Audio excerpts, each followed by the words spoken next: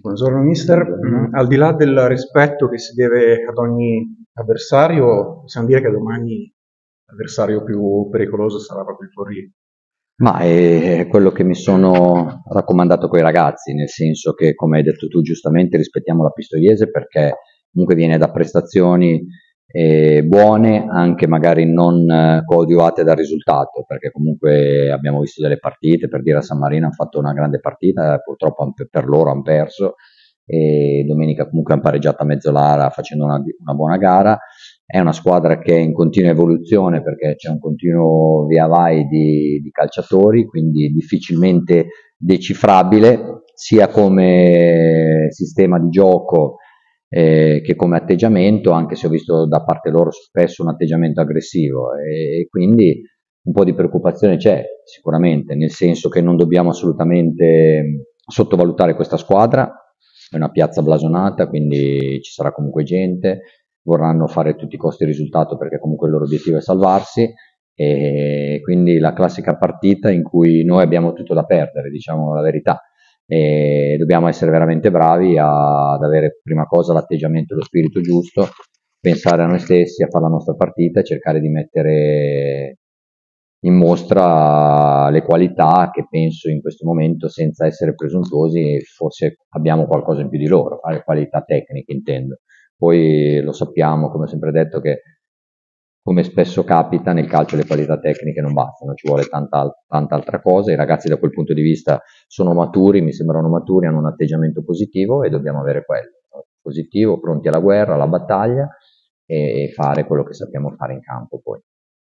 Ecco, un po' ti preoccupa comunque questa gara che sì. per certi versi può assomigliare alla trasferta col Borgo San Donnino, ma sappiamo tutti come andata a finire. Ai ragazzi hai detto benissimo tu, inizio settimana gli ho detto la stessa identica cosa, una partita, una domenica che sulla carta ti potrebbe essere favorevole, come poteva essere a San Donnino, si è rivelata poi negativa perché noi abbiamo pareggiato e quindi abbiamo perso dei punti rispetto a chi ci precedeva e non vorrei che ricapitasse la stessa cosa. Dobbiamo essere bravi, a San Donnino siamo stati sfortunati ma anche poco bravi nel capitalizzare soprattutto le occasioni inizialmente, non dobbiamo essere fatalisti ma dobbiamo essere noi a incidere sul risultato e non eh, farla decidere dagli episodi e dalle decisioni arbitrali che purtroppo ci sono e a volte ti sono negative. Ecco, anche perché al netto di quello che è stato detto ieri dal allenatore, che è andato in conferenza, ha detto non è nelle nostre corde difenderci, avremo delle difficoltà, il Forlice è superiore, quindi tanto vale fare una gara a viso aperto e giocare all'attacco, quindi troverete un avversario che vi, sicuramente vi aggredirà giocando anche in casa. Certo, infatti dobbiamo essere bravi, come ho detto abbiamo visto, è una squadra che comunque a discapito, ripeto, dei risultati negativi che ha fatto nell'ultimo periodo, ha sempre fatto delle buone prestazioni, è una squadra aggressiva, quindi che, che ti fa giocare poco, eh, ma da quel punto di vista lì mi fa piacere, nel senso preferisco una squadra così piuttosto che una squadra che si chiude e difende ad oltranza, quindi ci dobbiamo giocare la nostra partita, dobbiamo stare attenti a tutte le situazioni perché comunque hanno dei giocatori davanti e sugli esterni validi che possono determinare la partita, ma i giocatori buoni ce li abbiamo anche noi e validi, quindi eh, io credo che la classifica a questo punto parli chiaro, se noi abbiamo quei punti e loro quelli, una differenza a livello tecnico c'è e hanno avuto anche problemi societari, quindi sicuramente passano un momento non felicissimo, però noi non dobbiamo farci condizionare da queste cose, ma pensare a noi stessi e andare in campo come se affrontassimo il Ravenna, con lo spirito come se affrontassimo il Ravenna e il rispetto come se affrontassimo il Ravenna.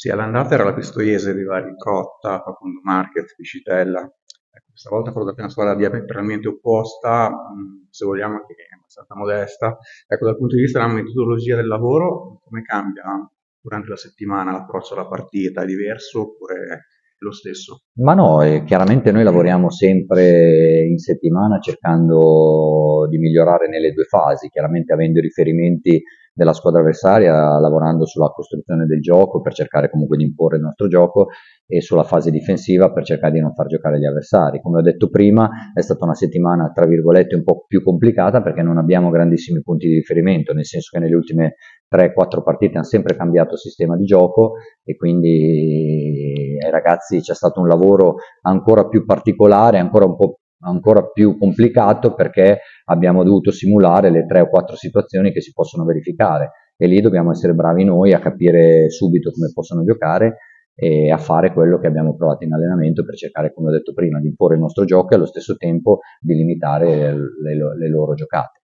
Ecco, dal punto di vista degli indisponibili, domenica si è fermato Drudi, se non erro Checchi dovrebbe essere tornato a disposizione, eh, Merlonghi anche, penso,